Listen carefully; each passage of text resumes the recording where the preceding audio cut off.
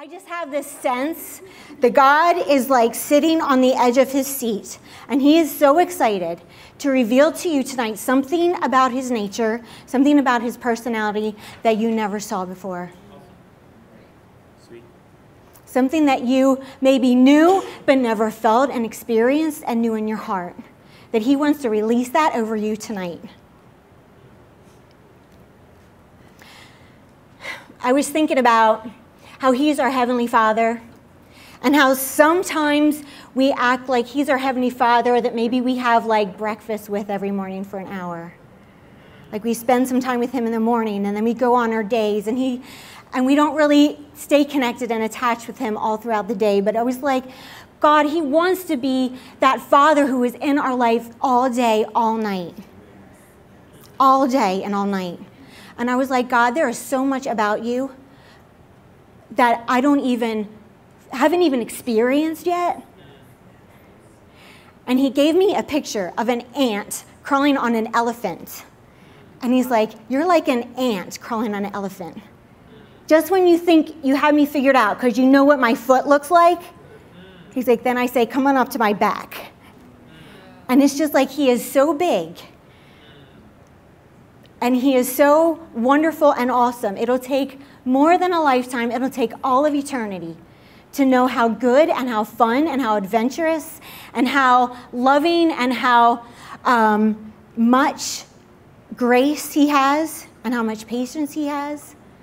It's going to just take forever. But I really hope that tonight we'll all just get a revelation. Each one of us would get a revelation a little bit more of what he's like. Um, it was funny, two weeks ago when I taught, I was saying how like God gives me one passage and then I obsess over it, like in a good way. It was funny, last, Wednesday, the two Wednesday nights ago that I taught, it was on the way home, I was driving home from Bible study, and God dropped in my spirit the story of the woman at the well. He's like, that's your next assignment. So ever since then, I've been obsessing and reading over and over and over that story and getting revelations, just him speaking to me through that story. So I was like, tonight I'm excited to share some of those things. And I actually am excited that you'll get some revelation as we walk through this that I didn't get. And that you'll just get hungry for revelation, that the Word of God is alive, and that when you read it, He speaks such really tender, intimate things to you. So the story of the Samaritan woman at the well is in John 4. And I'll be kind of, I'll be reading from the Passion Translation. I'll be kind of narrating slash reading because it's kind of long. So um, basically, the story of the woman of the well, um, it happens when Jesus and his disciples needed to go from Judea back to Galilee. And so basically, the way you get to Galilee from Judea is to go through Samaria. And the big deal about Samaria is the Jews and the Samaritans had become rival enemies for about 400 years. They hated each other and avoided each other.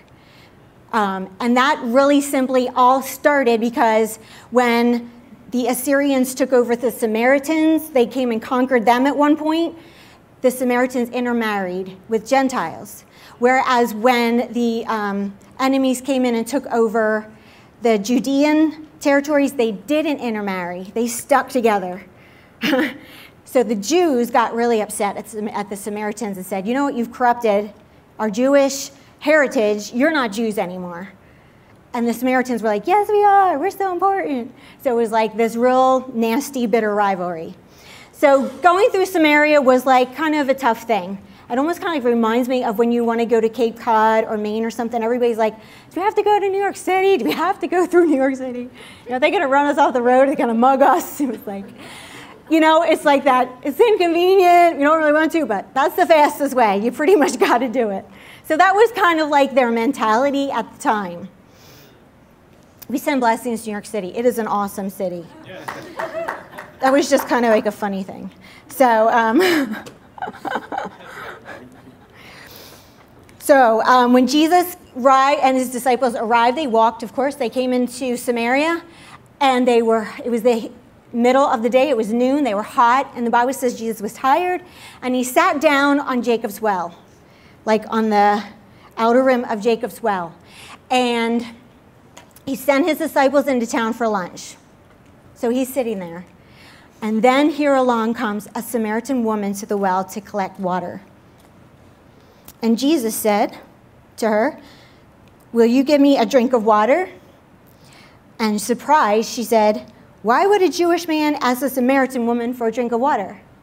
So, from what we know, like this was completely culturally unheard of. The Samaritans and the Jews stayed as far away from each other as possible, and rabbis absolutely were, perm- were permit, um, not permitted to even speak with a woman in public, let alone a Samaritan woman in public. It just, you just, it just didn't happen. Didn't happen. Never saw it. Was like, no, no. So, um, and then Jesus replied, if you knew who I was, you would be asking me for a drink because I would give you living water. And then the Samaritan woman is like, Well, what are you saying? Your water is better than Jacob's water? The well here, Jacob, he's, he's our father. You know, we're Jewish too. Jacob's our father, and Joseph's buried here. We're Jews. So, yeah, what are you saying? You're better than Jacob? And he's like, um, If you drink from Jacob's well, you'll thirst again and again and again and again. But if you drink the living water I will give you, you will never thirst again. Still, she's not getting it. Oh, cool, give me some. And then I don't have to go out here every day to this well. Okay, give me some. And he's like, Go get your husband and bring him back. And she's like, But I'm not married. And he's like, That's true. You aren't married. The man you live with, you've been married five times, and the man you live with now is not your husband. And then she's like, Whoa, um, you're a prophet. But now tell me, since you're a prophet, whose people are right? The Jewish people, are they right because they say you have to worship in Jerusalem? Or is my people right because we're Samaritans and we say you got to worship on the mountain? So who's right about all this stuff? And he's like, she's still not getting it. She's still like, all about, I'm Samaritan, and I'm important. And then he's like teaching her about worship. He's like, the time has come where you don't, it doesn't matter where you worship me. It doesn't matter. The time now has come that it doesn't matter where you worship. It's that you worship me from your heart and that you worship me in the realm of the spirit and in truth. And then she's like, this is also confusing. When the Messiah comes, he'll tell us all about it and he'll take care of all this mess. And he'll tell us that you, us Samaritans are right and you Jews didn't know what you're talking about anyway. I'm like, wow, like Jesus really doesn't often keep teaching somebody who's not getting it. Like he usually says, I don't cast my pearls before the swine. And he usually kind of like, if they're not getting it, he goes somewhere else. And I was like, this is amazing. So then he said to her, um, so she said, The Messiah is going to come. He'll straighten all this mess out, so it's okay. Then Jesus says, You don't have to wait any longer. The anointed one is here speaking with you. I am the one you're looking for. Supernatural word of knowledge. Now he reveals himself to her. And then, funny enough, just right at that very, very second, the disciples come back from getting lunch in town. Wow. Awkward. Jesus, a rabbi, talking to a Samaritan woman in broad, day, broad daylight. Okay, we'd really love to ask them a question, what's going on, but we know any question we'd ask right now would just be stupid. So we'll just stand here and wait for him to make the first move. Like you can imagine, they're like, okay, now what? And at that moment, the Samaritan woman dropped her water bottle, ran back to her village, and told everybody Come and meet the man at the well who told me everything I've ever done. He could be the anointed one we've all been looking for.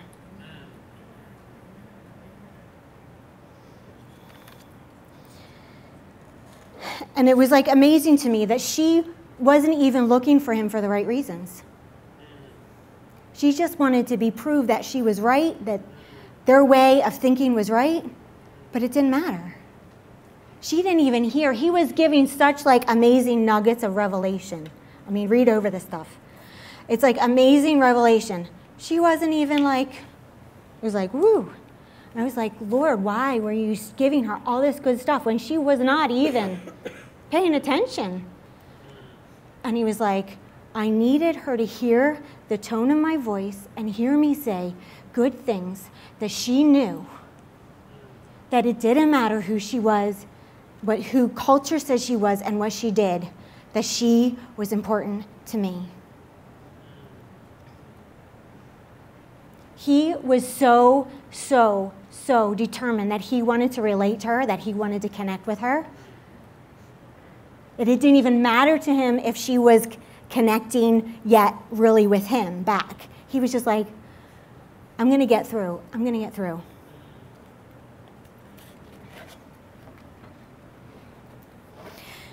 And it's funny, when she went running back to town, what did she say? She said, he, he told me everything that I've ever done, and it wasn't good.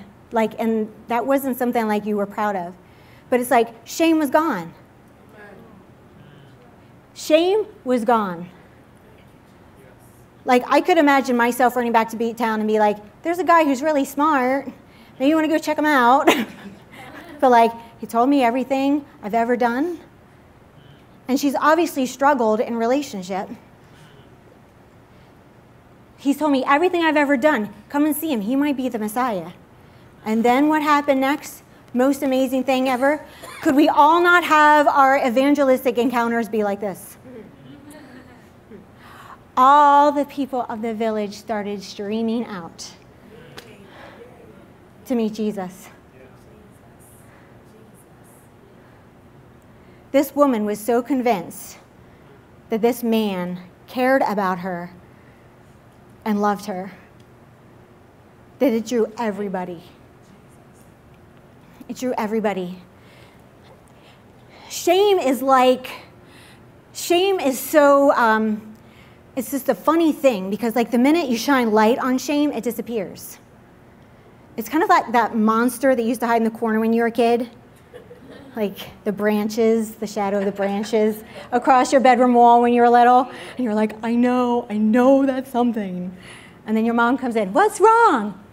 Oh, okay, it's gone. You know, turn the light out.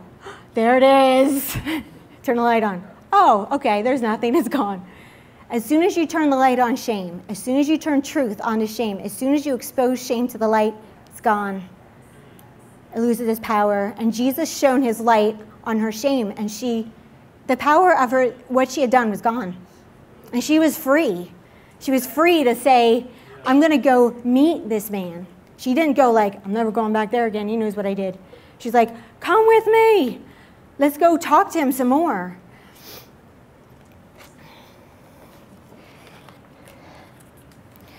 Um, Interesting, as we were reading through about the Samaritan woman, interesting that she was kind of like a legalist. Like she was really like, we got to worship on the mountain, and I know what my religion is, and I'm doing it right.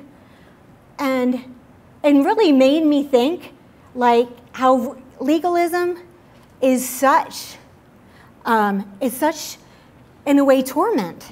It torments our life. Religion a spirit of religion, a spirit of legalism, it says you have to always do it right. You have to always do it right. And if you don't do it right, then you're a complete failure. And she was, as much as she was troubled in some ways, she was like a legalist, which is kind of like interesting to me. Um, relationship, when God came, He was bringing relationship. Relationship brings life, and it talks about who you are. And the legalism she was bringing brought, I have to do everything right. I have to make sure I know and do everything right. And yet, legalism really leads to sin. It doesn't lead to a freedom in our life, it actually leads us into sin and bondage. And as more we try to do everything right by like the letter of the law, it's like the more we find ourselves not doing the letter of the law.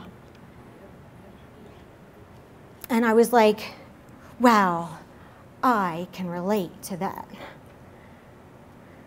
Because like that's how I felt a lot when I um, I told you guys before like I grew up in a Christian home and I knew the Lord and I had conversations with the Lord, but I was still like so um, unhappy and felt so tormented inside to the point that when I was 16 years old, I just felt so invisible and so unlovable.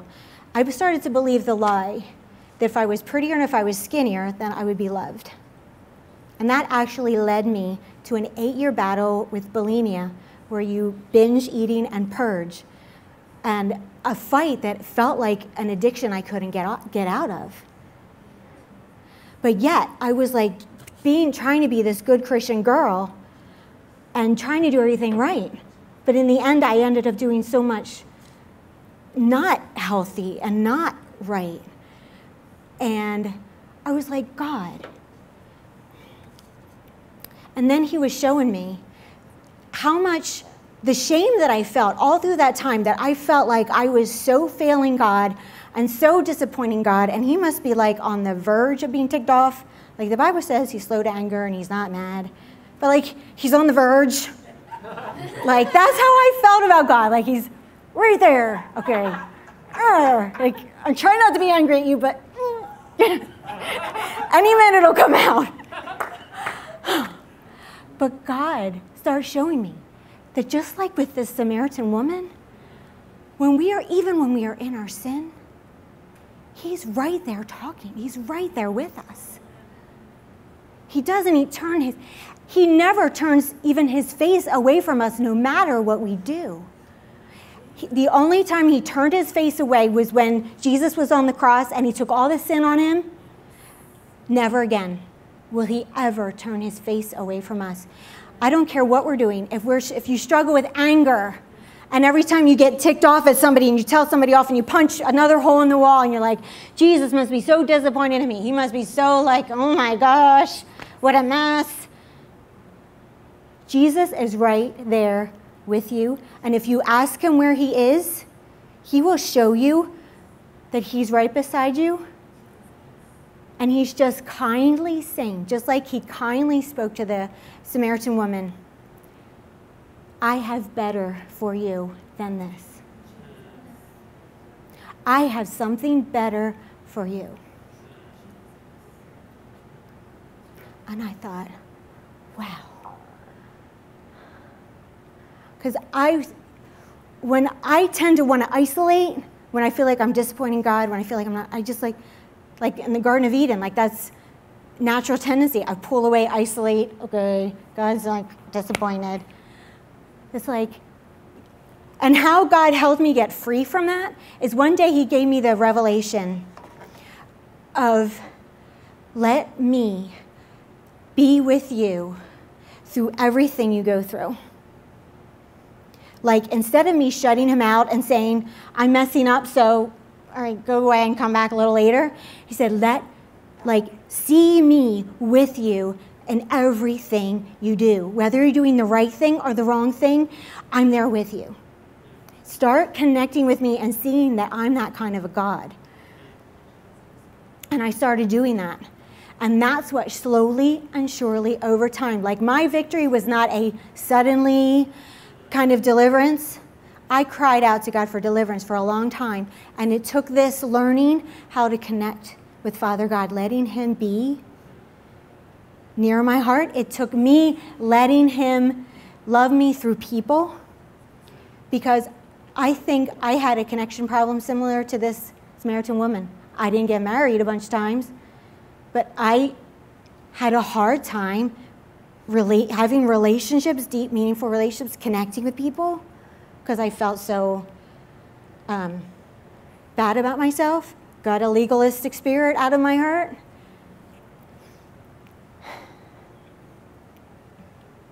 And the Lord is just going to show us tonight that no matter what, no matter what, He's right beside us saying, I have better than this for you.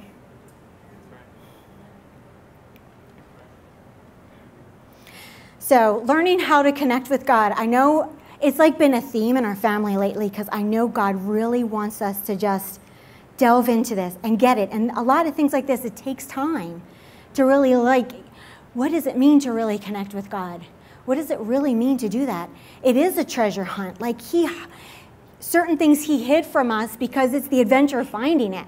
Like one of my favorite games as a kid was this game called Hide the Cup. Where the grown up takes the cup and hides it somewhere in the house, and then all the kids run around the house and try to find the cup. It was, it was awesome. It was like, this is my favorite game.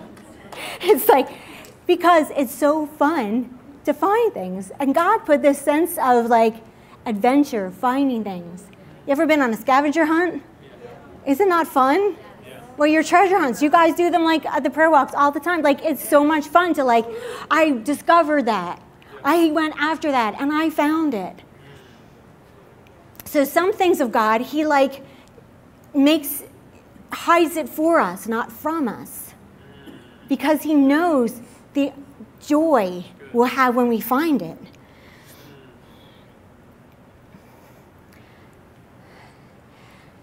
One of the ways he, in a certain way, hides things is like when he says, he said to the woman, Worship me in spirit and in truth. That's one of those really like can sound like a really Christiany thing to say. It's one of our like mottos as a worship team. Worship God in spirit and in truth. That sounds really, really great, doesn't it? Like you just feel spiritual saying it. So, and I was like, but God, what does that really, really mean to worship me in spirit? So, as I was like pondering on that, like I just realized how amazing it is that we can get into the spiritual realm with Him. He's spirit and He's given us the spirit. So we get to go into the spirit realm with Him. Yes.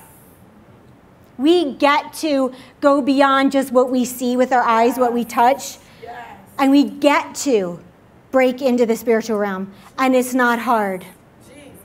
It's not hard. He didn't make it hard. We just have to want to. We just have to want to.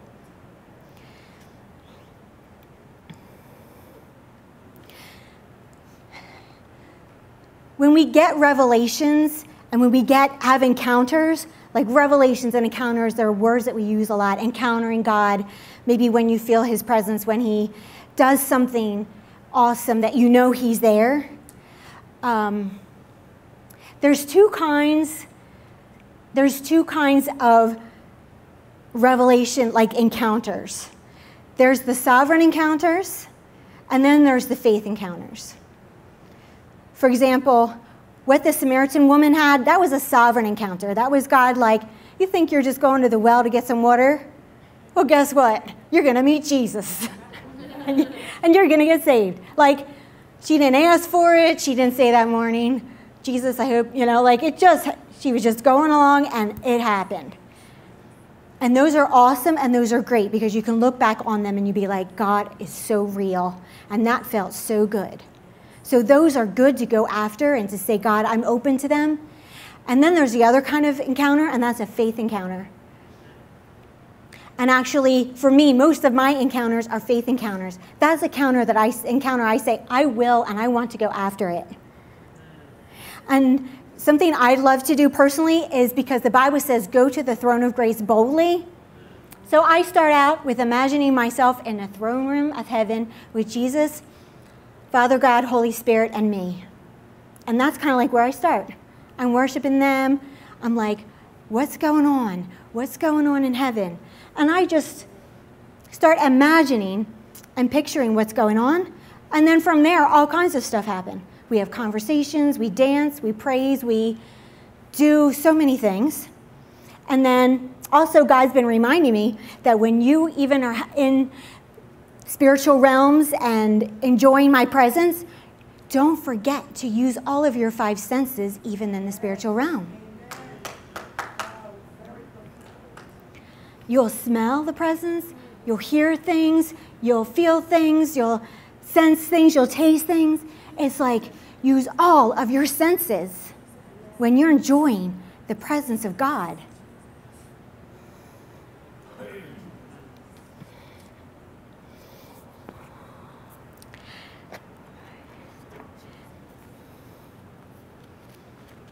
And it's fun how that Samaritan woman, after Jesus leaves, she's going to have to start practicing faith encounters.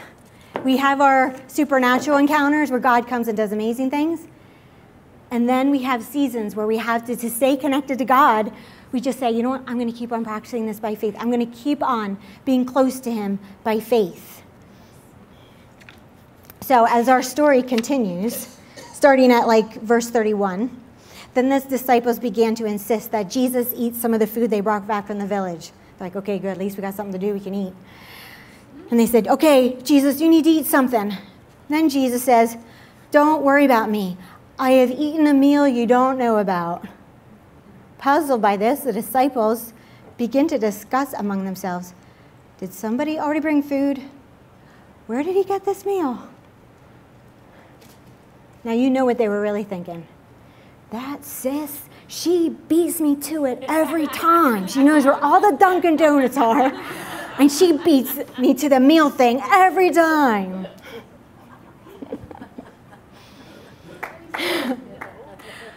but Jesus was talking about how much he loved. He just enjoyed his time with the Samaritan woman so much, he wasn't even hungry. You have sometimes, like, do you ever, like, pray for somebody, somebody gets saved, somebody gets healed, and you're like, you were hungry before, and then after that happens? Yep. you, hungry? What's that? You're like, food? I don't need no food. she, he was like, I'm fine. Then this crowds start emerging from the town. All the crowds start coming at this point to the well. And Jesus is like, Why do you say the harvest is in four months? The harvest is ripe and is plentiful now. Look at them. And he's like, You get to reap what you didn't even plant. What other people worked hard for, it's just walking at you. They didn't even have an intercession prayer meeting. They weren't fasting, they were eating. like, I can't even imagine a town being like thousands of people just like walking towards you, like, I want to meet Jesus, I want to get saved. Ah, this is coming. This is coming.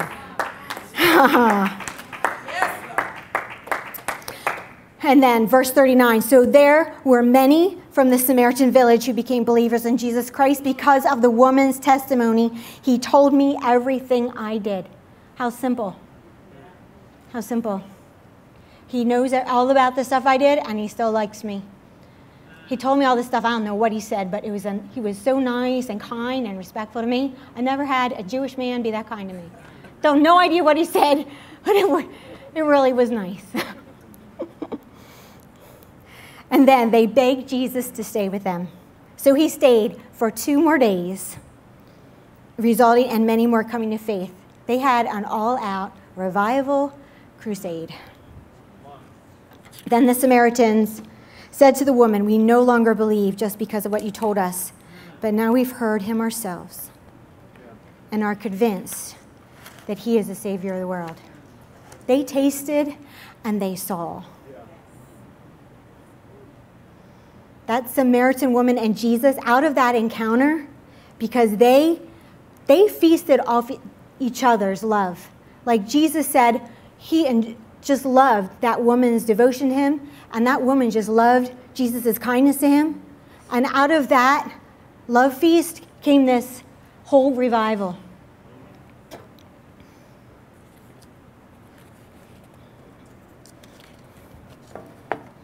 And we are in this season of acceleration. We are in this season of revivals happening by the thousands.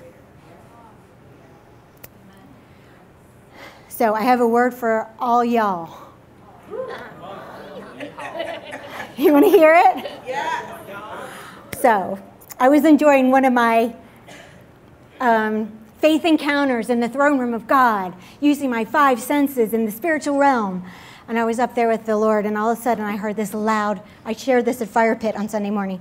I heard this loud cheering. Loud, exuberant, like thrilling cheering. Like awesome cheering. And I said, Jesus, what is that cheering? And he took me to like this stadium, and it was filled with saints and it was filled with angels. And he said, It is a commissioning service for saints and groups of saints.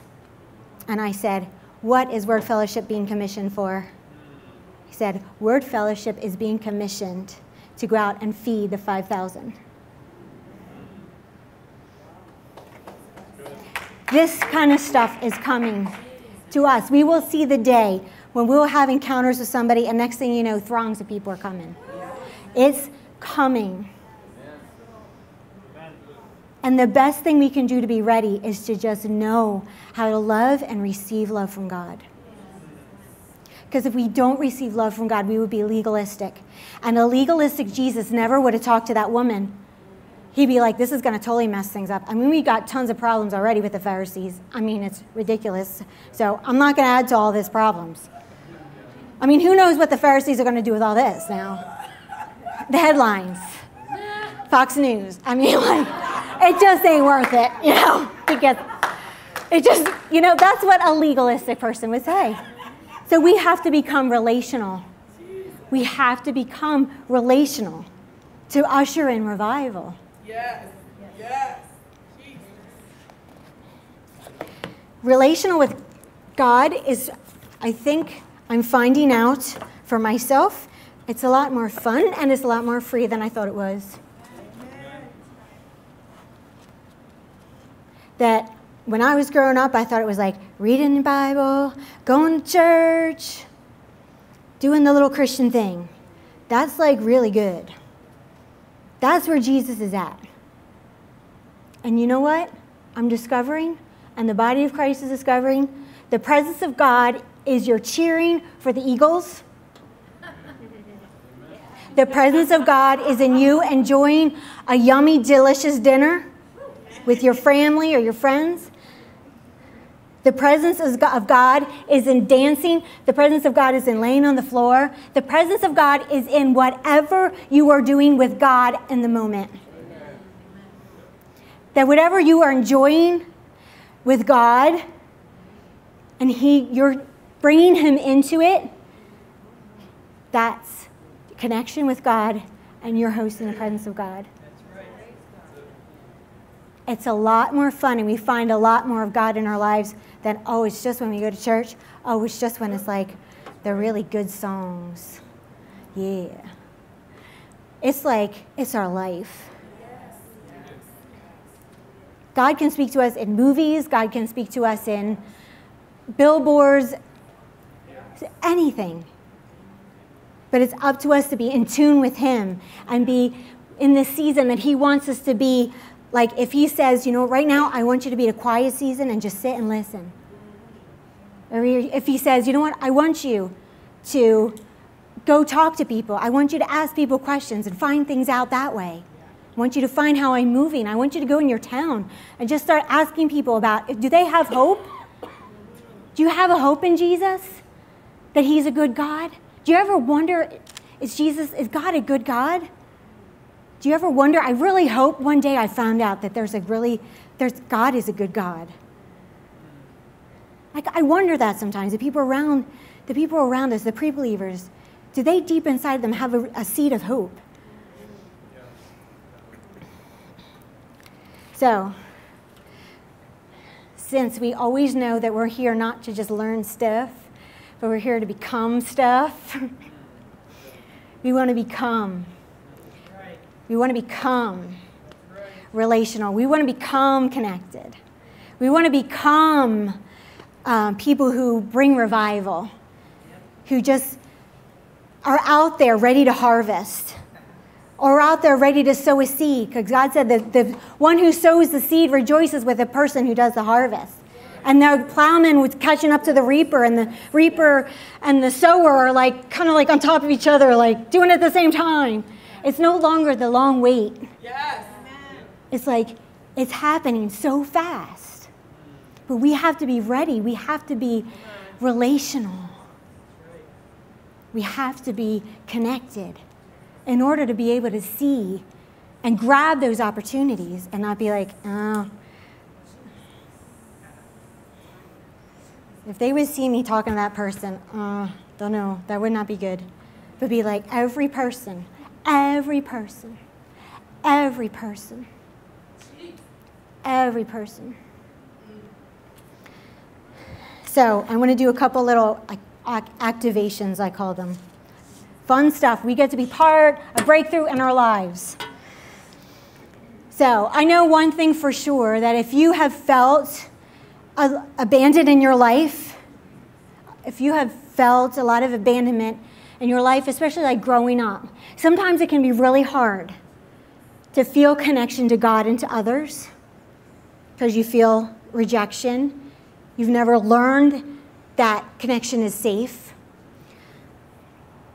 But I feel like tonight God's saying, you know what? He wants to give you an encounter where you know that God is a good God and He's safe and He's just standing right beside you and He's just saying, I have a better way for you. So if anybody would be so brave and say, you know what, that's me, I would like prayer for that. I would just like the Lord. I would just like to give God space in my life to reveal Himself to me as a good God who really loves me and wants to connect with me. Anybody feel so brave that they would like to stand and just receive that from the Lord? Just stand. If anybody would like to just receive that from the Lord. Amen. And then, if anybody else, we're going to do one other. If anybody else has been like, I want to have that connection with God, I want to let Him be out of my box. I want to find Him outside of church. I want to find him outside of things that are Christian like. I want to find him everywhere I go. I want to be able to connect to him in amazing, crazy ways that everybody will look at me and be like, What are you doing? You shouldn't be doing that. what are you doing? And you're like, Yes, I should. Oh, yes, I should. If that's you, would you be so bold to stand?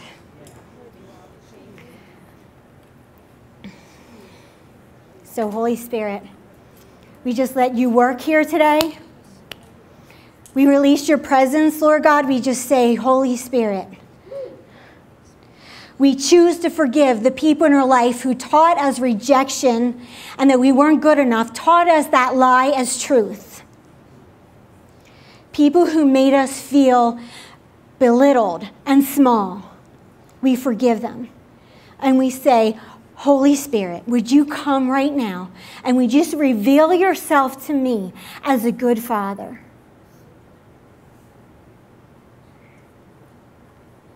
And if you've had a hard time hearing him right now, I just want you to, in, in a whisper voice, however you want to, would you just ask him? Would you say, Holy Spirit, how are you speaking to me right now in this season of my life?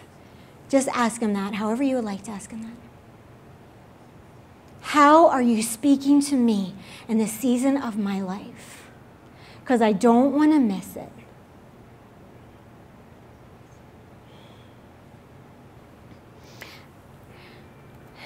And for those of you who stood because you just want to be like out of the box, you just want to be totally have no fear of man, no legalistic mindset, no performance mindset. You just want to say, God, wherever you lead me, I want to minister to that person that nobody else maybe would minister to.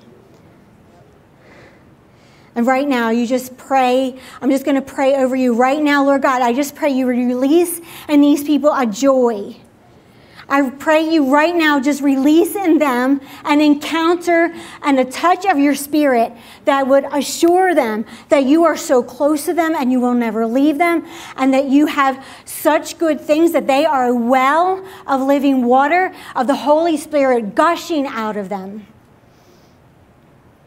and that you have such an amazing, exciting plan for them, encounters for them, such exciting, exciting things ahead of them. And would you, in your own way, ask Holy Spirit, Holy Spirit, how have you been speaking to me in this season of my life? I don't want to miss it.